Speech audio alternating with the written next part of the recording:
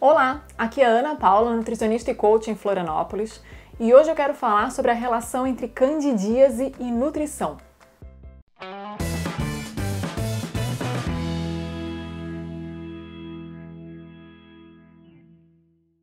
A candidíase é provocada por um fungo chamado Candida albicans. Acomete principalmente mulheres e principalmente o trato vaginal. E existe uma relação bem forte entre candidíase de repetição e fatores da alimentação.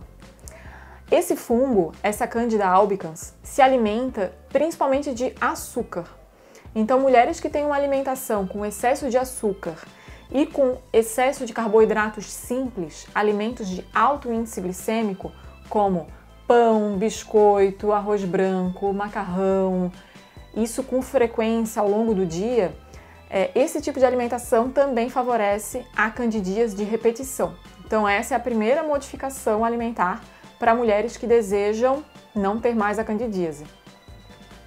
Muito importante também tratar esse intestino.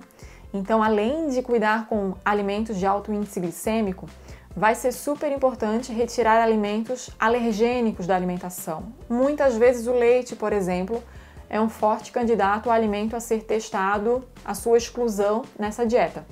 E falando em tratar o intestino, vai ser muito importante consumir prebióticos, né, alimentos fontes de fibra que auxiliem no funcionamento do intestino, e também fazer, fazer uso de probióticos, aquelas bactérias benéficas, muitas vezes na forma de um suplemento mesmo.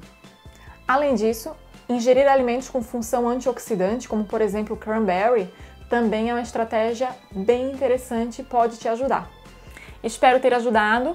Marca aqui embaixo alguém que você conhece que sofre com a candidíase, pois ela pode se beneficiar dessas dicas. Tá bom? Até o nosso próximo vídeo.